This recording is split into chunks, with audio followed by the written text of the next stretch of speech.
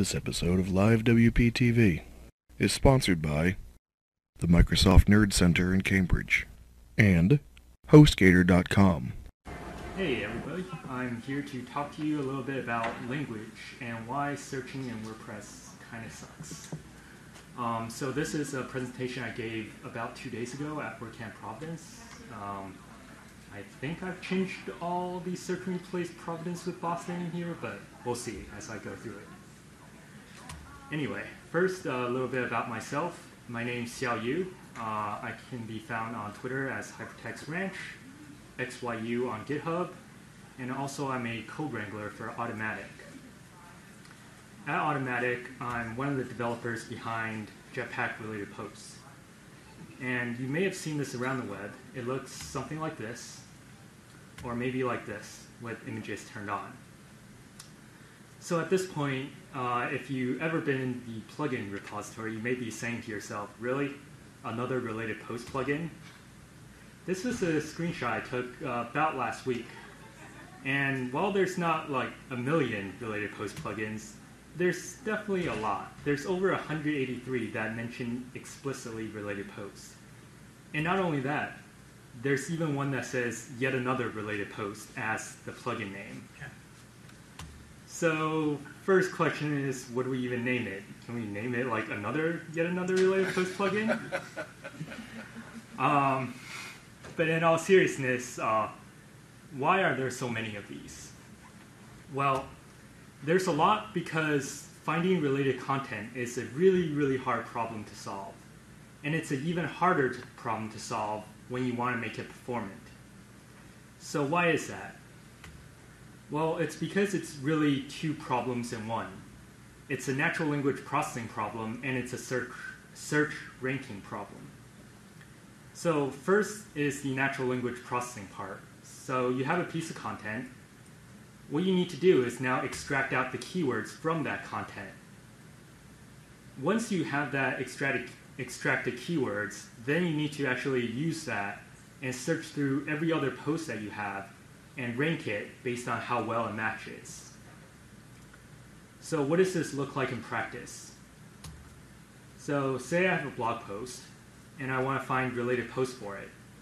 So the first step is pretty easy. I can just strip away everything and just have the content.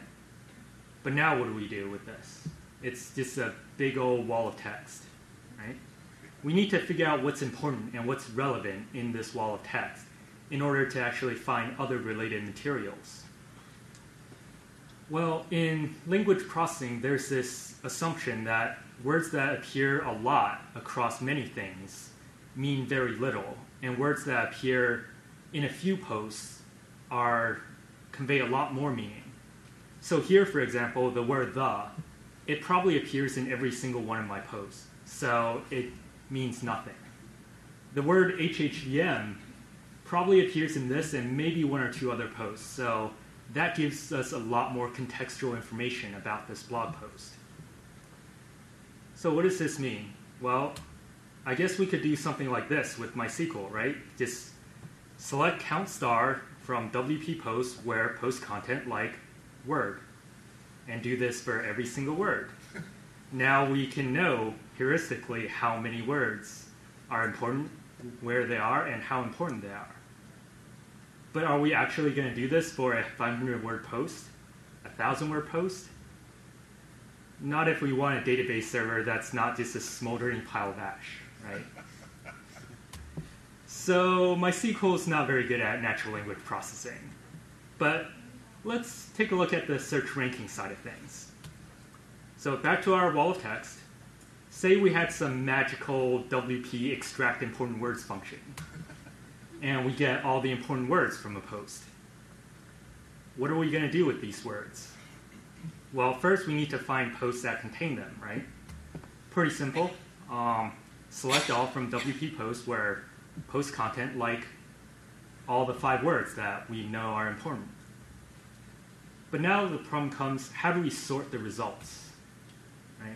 A post that I have on HHVM benchmarking, likely very important to this post. My improv Boston performance, not really relevant at all. But they're both going to appear because the words appear in it.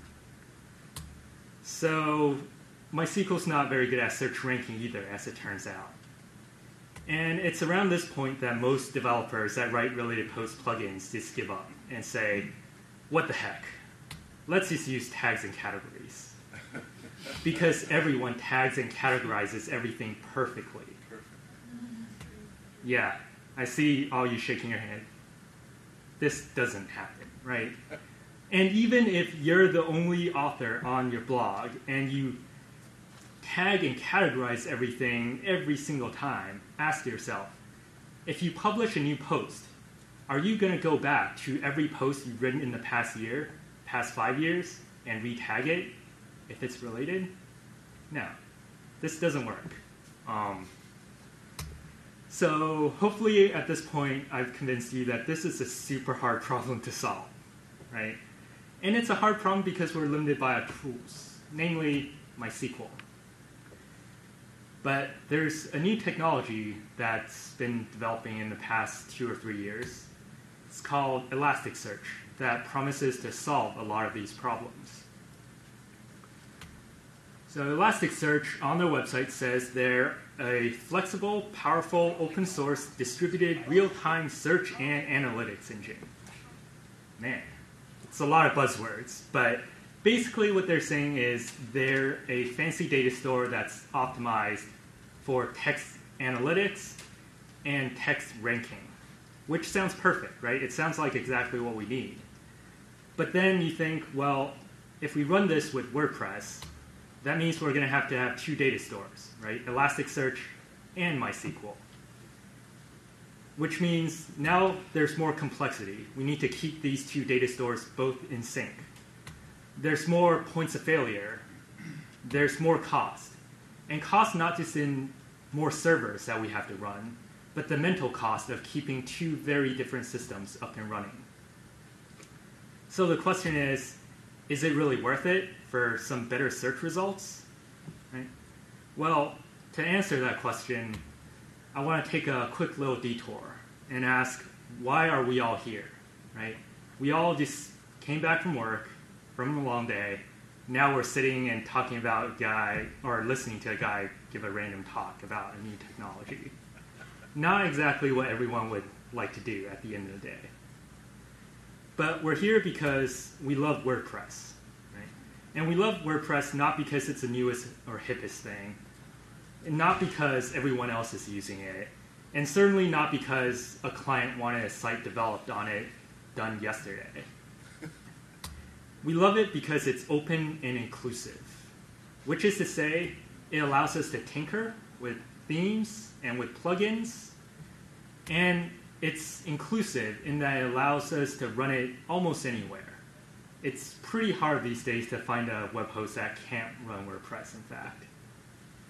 But more importantly, this openness and inclusiveness is the extension of the WordPress culture itself of our love of expressing ourselves with written language. Be it it's this, or this, or even this. Right? Written language, this is a uniquely human trait that we all share. And this is humanity's best and longest lasting invention. And it's this richness that's captured by WordPress installs all over the world.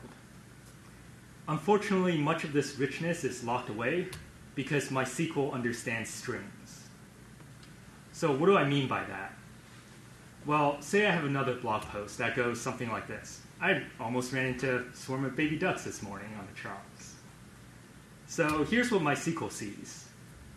Just a string of bytes, which, you know, is perfectly fine. It stores a string of bytes and it retrieves it every time someone wants to look at that blog post.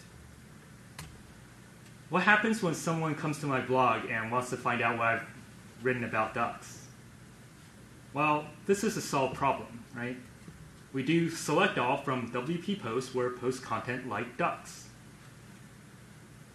So what happens when uh, you execute this query on MySQL? Well, what happens is it first turns that ducks into this, the bytecode for ducks.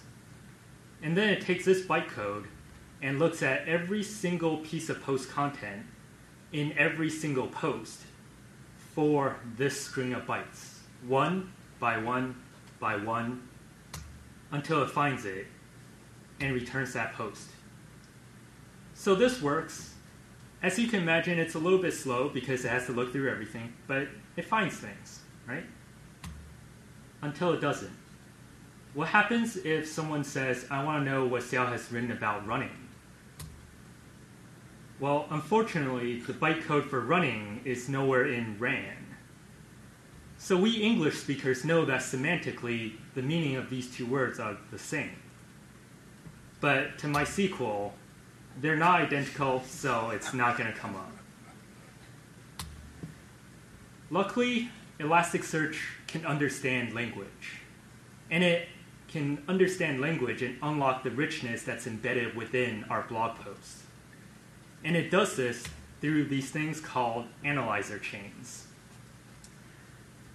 So, what are analyzer chains? Well, they consist of three parts in Elasticsearch. So, as input, it takes some raw text, your blog post. It runs it through a set of character filters to clean up that text. It then runs it through a tokenizer to chop that up into words once it has a stream of words or a set of words, it runs them through a set of token filters. And after it's done filtering and manipulating those set of words and tokens, you end up with what are called terms. And these terms are basically the semantic meanings behind that piece of raw text. So let's take a look at how this works in practice. So here's another sentence that I want to analyze right? Pretty simple. We all type this over and over at some point in our lives, probably. Um, this is what it looks like in HTML, right? Pretty straightforward. You got a paragraph tag, you got some HTML uh, entity encoded characters. This is what gets stored by MySQL, and this is what gets passed to Elasticsearch. And we can immediately see there's some stuff that we don't really want to index. A paragraph tag HTML tags, they don't provide meaning to your blog post, right? HTML entity encoded uh, characters, you don't, no one's going to search for u uml, for uh, umlaut u, right? So we pass it through a character filter. It filters out the HTML tags, it cleans up the encoded characters, so now it looks like a regular sentence. So now we can move on to the next step tokenizing it. So because this is English, tokenization is pretty simple. We tokenize based on white space or punctuation marks, right? That's how we separate words. For other languages, this is a little more complicated. For example, Chinese, Japanese, Korean, but there are specialized tokenizers for that, so you don't actually even have to worry about that. You just have to say this is a piece of Korean text. And some guy with a PhD has already figured out how to tokenize that for you. But here, simple, we chop it up based on punctuation and white space. I'm just going to reorder this a little bit. We now have 10 words. Pretty simple. We now call this our token stream. What happens now is you can configure any set of token filters that operate on this token stream. So let's take a look at the first example. First, I'm going to run something called a lowercase token filter on it. So what this does is it takes every single token, and if there's an uppercase letter, it emits the exact same token or word, except all in lowercase. So here, the got lowercase, everything else is already lowercase, so everything else stays the same. And these token filters are chained one after another. So now we can run the next token filter on this token stream. Next, let's take a look at that umlaut of u. So here I type Uber with the umlaut, but not everyone types Uber with the umlaut, right? And we don't want to disadvantage those people that don't type it properly.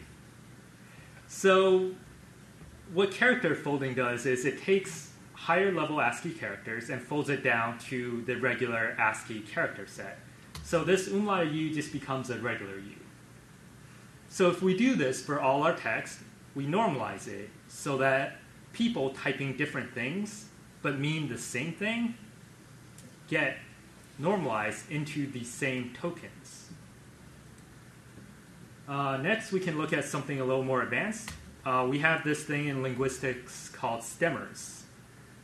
So stemmers are they appear a lot more in uh, other languages like Spanish, where you have things like masculine and feminine endings, but it also appears in English, where we pluralize things with s, right? So dogs and dog, they're the same thing. So what we can do is we can just chop off that s to normalize it. And because we can customize tokenizers per language, we can even add in dictionary lists so it's smart enough to turn geese into goose. Next, let's look at this thing called stop words. So, stop words in linguistics are words that appear so often that they appear in almost every single piece of text. And because they appear in every single piece of text, they offer almost no meaning to any piece of text. So, to make our searching go faster, we can just go ahead and chop them entirely out, right? So, our token filters can actually filter out and remove entire tokens if we want. On the flip side of that, uh, we can have synonym filters that inflate meaning. So if on my blog I know a bunch of scientists comes to it and they search based on genus names instead of common English animal names, I can put in a synonym filter that takes words like fox and dog and emit not only those words back, but also the genus for those animals to inflate the meaning of words that someone put in. So that's probably enough for now. You, as you can imagine, you can configure any number of these. But let's say that's our set of terms. Now that we have these terms, we can build what's called an inverted index, which is basically a fancy term for a dictionary list, right? You have terms on one side and the document IDs that those terms appear on in the other. So as you index more documents, you build up this list not only in terms of number of words, but also in which documents each word appears in. Now the magic comes when we're actually querying for this data. So say we have someone coming in and they search for jumping foxes. So the magic happens when we actually run this query string through the exact same analyzer chain we use to index the data. If we do that, we also inflate and normalize the meaning of this query string into these three tokens. And now it's a simple matter of looking up those three tokens in our dictionary list, and immediately we not only know where and what documents they appear in, the frequency of those words across all documents, as well as the intersection of those documents and other words. And this lets us know the semantic ideas behind words that people are searching for and that people are writing about. And that's how Elasticsearch understands language via customized analyzers. And as you can imagine, these things are really powerful because you can customize it based on language or even target audience to really fine tune and extrapolate the actual semantic meanings behind what you're posting and what your audience are searching for. So that's the natural language processing side of things. Uh, what about search ranking? Well, let's talk a little bit about queries and query relevancy in Elasticsearch. In Elasticsearch, there's two types of query parameters there's filters, and then there's queries. Let's take a look at filters first. These are super, super fast, and they're cached. And they work basically like MySQL. They give you a Boolean yes or no answer. Something either matches a filter or they don't match a filter. Next, we have queries. These execute a little slower. They are never cached in Elasticsearch but they give you uh, this thing called a relevancy score in your result. So, what is a relevancy score? In Elasticsearch, it uses this industry standard called TF-IDF. Um, you can configure other ones like BM25. However, they operate mostly on the same principle, so understand one, you understand the other. So, what is this kind of complicated and white hairy thing that uh, is called TF-IDF? Well, it stands for Term Frequency Inverse Document Frequency. So let's break that up a little bit. First, term frequency. So this means how many times a term appears in a document. So logically, if you think about this, a word that appears in a post once is likely less important than a word that appears in a post 10 times. And all that fancy, complicated math you see there, that's basically to adjust it for natural language so that we can say things like, you know, if a term appears five times in a post 500 words long, it's likely more important than the same term appearing five times in a post that's 10,000 words long. Pretty standard. Next, we have inverse document frequency. So this gets at how important a word is across your entire language base. So this is a count of how many documents a term appears in throughout your entire index. So does a word appear 10 times in your 10,000 post uh, site? Or does it appear a 1,000 times in your 10,000 post site, right? So we know that a post that appears only 10 times is likely more important than one that appears 10,000 times because it's a more specific term. It offers more semantic meaning for this one post because it narrows down things so much more. And once again, the fancy bit of math there is to adjust for natural linguistic tendencies of having basically words that either appear in like, you know, 90% of your posts or words that appear only in like 2% because they're the actual meaningful words versus conversational words, let's say. So to get relevancy score, you basically multiply these two things together and you get a pretty good estimation as to how important this word is to your document and how important this word is throughout your entire blog or set of documents. But as you can imagine, doing these fancy calculations for every single word in every single document is a bit time consuming. So, Elasticsearch best practices is to first filter to reduce the number of documents that could match, and then query to figure out how well they match. But regardless of whether you filter or not filter or anything like that, what this relevancy score means is given a blog post like we had before, we can now know exactly how much semantic meaning each word contributes to this blog post which means it's pretty simple to know which words are the most important in this blog post. And not only that, but we can turn around and take these words and see how much meaning they contribute to every single other post. Which means now we have not only natural language processing, but we have search ranking. We can let Elasticsearch do all the work for us, finding the important words and finding out what other posts those important words appear in and how well they correlate with the document we're looking at. And Elasticsearch can do this really, really, really fast too, because it's a clustered database. It will take your one query and execute it on 5, 10, 20 different servers at once, and then combine all that result together at the very end. So hopefully at this point I've convinced you Elasticsearch is pretty awesome and it's something that we really need in WordPress. But now you're thinking, wait a minute, I have WordPress. Do I really want to run a bunch of Elasticsearch servers? You probably don't. Luckily, at Automattic, we do run a rather large Elasticsearch server, or rather, Elasticsearch cluster with a set of servers. And we can let other WordPress users take advantage of it through Jetpack, namely related posts.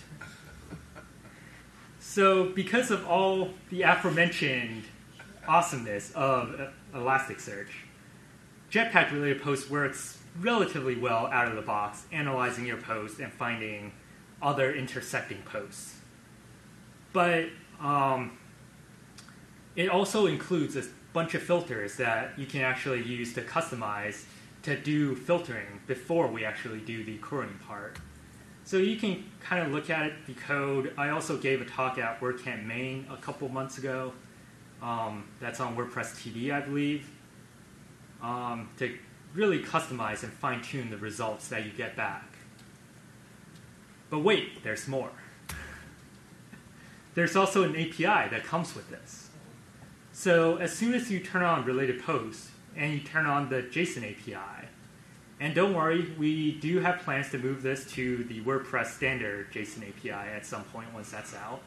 But for now, this is the Jetpack JSON API. You can actually use this to query the Elasticsearch cluster directly to find related posts for yourself for whatever application that you want to run it with. So this is an example query. Um, it looks pretty long, but uh, it's somewhat self-explanatory. So right here, it's basically going to my site. It's looking at one post, post ID 2361, and it's finding related content for it. And then in the post data section, it has this thing called filter. And filter is basically a mirror of Elasticsearch filter parameters. So whatever Elasticsearch filter parameter you can run, you can pass directly to this Jetpack JSON API, and it will take it and apply it uh, before running your related post query on it. So here, um, this filter is basically two parts. It's saying both of these has to be true. It has to have a post format of image, gallery, or video, and it has to be within a geographic distance of 20 mi 25 miles from the center of Boston.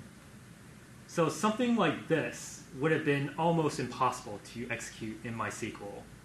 But a query like this returns, on average, uh, well, not average, the median response time is somewhere around 200 milliseconds, with the 99 percentile under a second. So this is really, really powerful stuff that if you want to play around with, I definitely recommend. And if you do, definitely take a look at the developer docs on WordPress.com at developer.wordpress.com slash docs slash Elasticsearch. So here we document the 16 different filters that you can use, as well as the 100 different post fields that you can query against. And in these 100 post fields, there's you know your standard ones like post title, post content, post excerpt, and whatnot. But there's also a couple really specialized ones um, that get extracted from your post content. Things like shortcodes, images, or links. So you can do complicated queries like only find me related posts that contain a YouTube video, or only get me results that have a featured image or two images in the post. So it's you can do some really really fancy and complicated stuff with it, and we see a lot of our uh, WordPress.com VIP clients really enjoy playing around with Elasticsearch because of this. And you can also work with us right? We're always hiring. If you really, really love Elasticsearch and really get into it, definitely apply. We're always looking for more people to work on Elasticsearch cluster. Uh, we have one of the largest in the world, aside from a three-letter agency that has way more metadata. Um, but for public content, we're the biggest. and that's pretty much it for uh, my presentation, and I love to take your questions at this point. Uh, yes? Well, you've proven that you're very smart. Uh, my question is about Jetpack in total, mm-hmm. um, because there's a lot of uh, a lot of comments on the web about Jetpack breaking sites, slowing down sites, and other negative comments.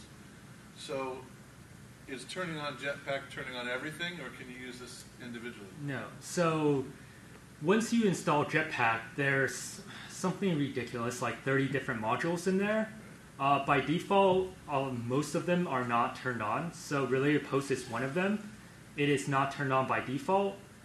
Uh, for every module in Jetpack, if you disable it, it basically does not load at all. It does consume some disk space on your server, but that's pretty much the only thing that happens. So with related posts, it's off by default. You turn it on, and it's we basically do an asynchronous index of your content in the background. Um, this, depending on how fast your server is, may take a couple hours, or maybe it takes a week, depending on because we actually still uh, slow down that process to not slow down your server too much. Um, Thank you. uh, yes. You worked on the Elasticsearch for the NSA originally? No, I have not. uh, yes. Uh, It seems to me, correct me if I'm wrong, that there's a presumption that a word, if it's mentioned less in a content, it must be important. And this whole thing is based on that presumption, or it's more than a presumption, it's some It's- uh, Yes. solid science that it must be important if it's mentioned less. Uh, so there's two parts. A word, if mentioned more in a single piece of text, is likely to mean more. If a word appears in less throughout all texts in the known universe, it's likely to mean more, right? Because it's likely to offer more contextual meaning behind it than a word that appears globally. So if I have a post about um, feeding my cat and a post about WordPress performance, if the same word appears in both posts, it, it, it likely has less semantic meaning, right? Because it carries some meaning in both. And because those two are not related, likely it's less targeted. Um, So there, is, is, is it in the example that you're you're searching in your blog number twenty-one thirty-six? It's just looking in that blog. Is Yes. it comparing it to an index of the every content on this planet and saying, oh, this word comes a million times over there. It must not be good. uh, it's not comparing it, right? so two milliseconds. It's, yes, so just it's. looking at your blog. Um, so, in determining the term frequency, which is how often it appears in the universe, let's just say, of content, um, it depends on how much, how many documents you index into it, right? So, if you run your own Elasticsearch cluster and you only index your blog, then it's only looking at every piece of content, every single word on your blog. For us at um, WordPress.com, it's looking at roughly, let's see, 500,000 blogs um, when it's doing that. So it's a pretty good average sample of all terms. Um, but yes, it is actually looking at how many times each word appears in all 500,000 blogs at once. Uh, yes, back there. Is there, is there a free version of this that's hosted, or do I have to make my own server, or what? I see the one for a thousand, over a thousand dollars a month on VIP WordPress. Oh, uh, so so Jetpack is completely free. Uh, related post in Jetpack is completely free. You can install it and start playing around with basically this API and queries and whatever you want immediately. Well, after it indexes your site, obviously, but after that, no cost whatsoever. Um, also, Elasticsearch itself is a completely free and open source product. Their business model is rather like WordPress in that there's elasticsearch.org and elasticsearch.com. You can pay up the wazoo for elasticsearch.com or run your own elasticsearch.org server. Um, there's also a bunch of companies that do hosted Elasticsearch. So for example, for us, uh, we don't allow arbitrary searching right now. We only allow you to do related content searching with Elasticsearch because we don't allow you to pass in a random query uh, into this API, right? The query is the actual post that you're trying to find related to. Um, we only allow you to pass in filter parameters. But if you do find that you want to run more complicated like query parameters, um, there's a company here in Boston called Qbox.io that does something like a five dollars a month like hosted Elasticsearch thing where you just sign up and send content to. Okay, so it's, it's in, it's in, it's free, it runs on your, your server runs it as a, Yep. So for Jetpack related posts, it's free. It runs on Automattic infrastructure. Uh, the best part about it is that in that you turn on related posts for other things, a lot of it kind of crashes your site because it's running so many queries. Here, you're offloading all that to Automattic.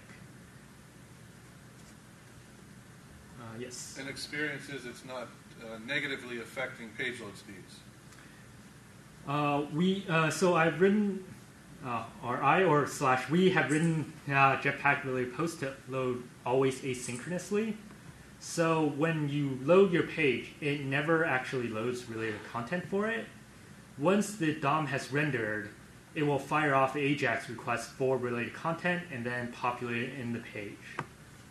Um, so things like recently published posts, right? If when you first publish a post, it has to get synced over to Automattic. We then have to index it, and then we give you the related content.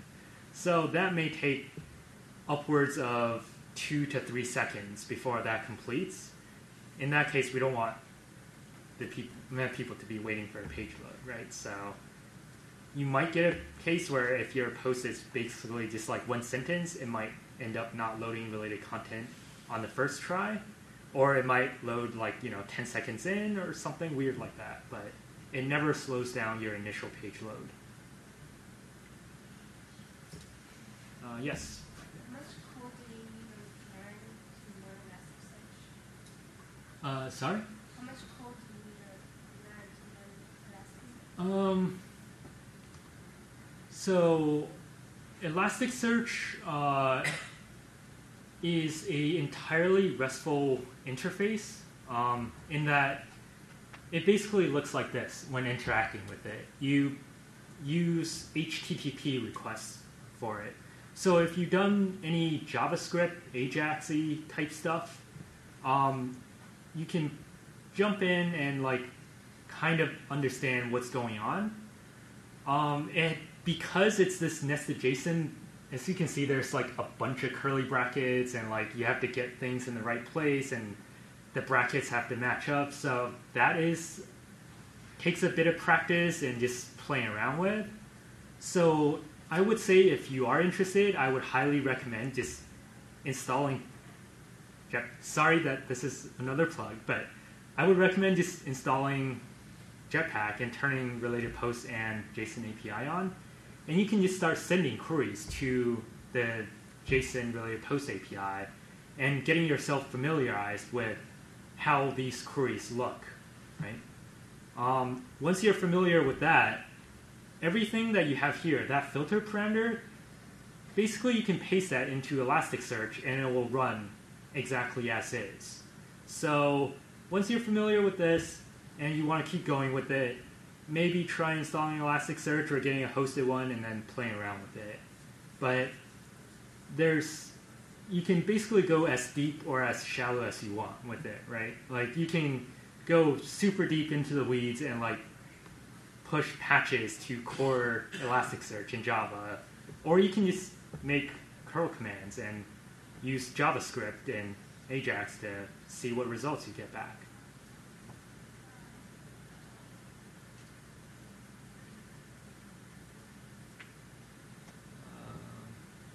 Uh, all right. Any other questions? Cool. Thanks.